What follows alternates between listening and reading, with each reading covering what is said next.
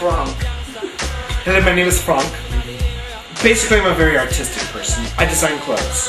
Not these because, you know, I only design for women because, to be honest with you, the female form is just, it's beautiful. It's, it's smooth, it's silky. Not that I've had really much experience with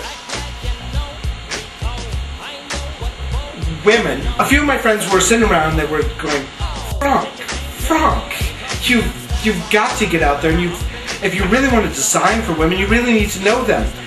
I guess intimately. So I guess what I'm asking for is just a chance. Who knows? I might like it.